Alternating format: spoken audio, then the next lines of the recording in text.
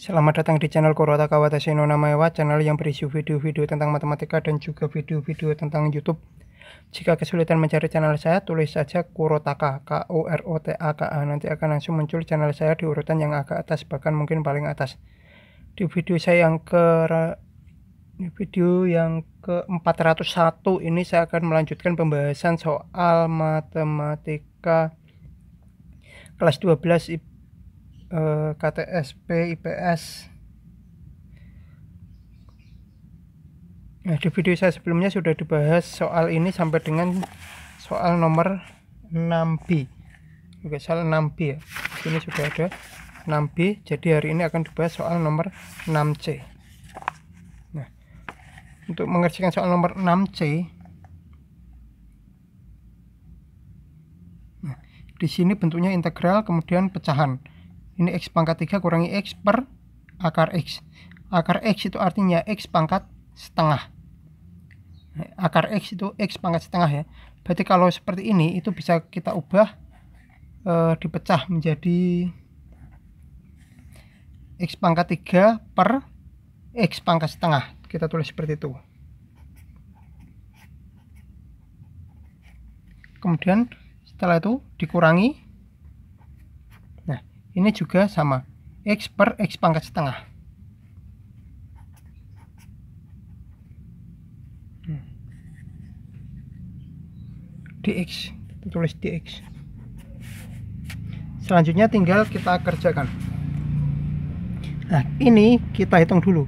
X pangkat 3 dibagi x pangkat setengah itu tinggal dikurangi saja pangkatnya.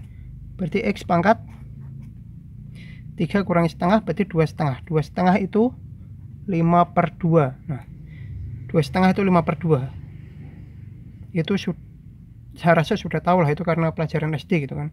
Dua setengah sama dengan 5 per 2 kemudian dikurangi ini satu dikurangi setengah. Satu kurangi setengah itu setengah berarti. X pangkat setengah. Dx setelah seperti ini baru kerjakan seperti eh, soal-soal uh, sebelumnya seperti ini ini koefisiennya tidak ada berarti 1 per 5 per 2 ditambah 1 itu berarti 7 per 2 tinggal ditambahkan aja 5 tambah 2 7 berarti 7 per 2 gitu. X pangkat 7 per 2 dikurangi setengah ditambah 1 itu nah, 1 per dulu ya. Ini kan karena koefisiennya tidak ada berarti tulis 1 per nah, setengah karena ditambah satu itu sama dengan 3 per 2 caranya sama seperti tadi tinggal 1 tambah 2 itu 3 berarti 3 per 2 cara ini hanya bisa dipakai ketika per 2 ya. Kalau bukan per 2 itu tidak bisa. 3 per 2 tulis lagi. Kemudian karena ini tidak ada angkanya itu artinya integral tak tentu sehingga sini harus ditambah C kemudian ini dihitung tinggal dibalik 7 per 2 menjadi 2 per 7 X pangkat ini tetap 7 per 2 kurangi ini dibalik seperti tadi 2 per 3 X pangkat ini tet tetap ditulis 3 per 2 plus C. Jadi ini jawabannya saya ulangi sedikit untuk 7 per 2 ini berasal dari 5 per 2 tambah 1 karena ini per 2 cara mudahnya itu tinggal 5 tambah 2 itu berarti 7 7 per 2 seperti itu. 7 per 2 ini itu dari sama caranya sama tadi 5 per 2 tambah 1 pangkatnya itu yang ditambah 1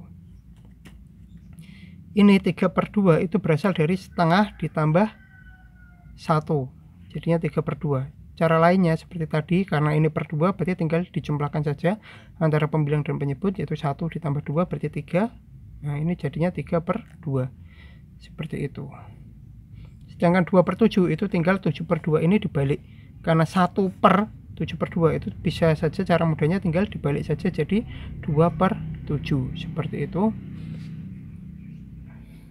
Ya demikian video saya kali ini. Semoga pembelajaran hari ini bermanfaat. Untuk soal nomor 6 DEFGH akan dibahas di video saya berikutnya ya terus dukung channel saya supaya bisa monetisasi lagi jangan lupa like, subscribe, share, bunyikan lonceng, berikan komentar positif sesuai isi video saya, tonton juga video-video saya yang lain, jangan komentar spam, jangan komentar copy paste, jangan komentar dengan link, jangan komentar minta subscribe, jangan komentar minta dikunjungi, jangan komentar minta-minta yang lain, yang paling penting jangan melanggar peraturan YouTube dan jangan mengajak melakukan pelanggaran YouTube. Terima kasih sudah menonton video saya ini sampai selesai.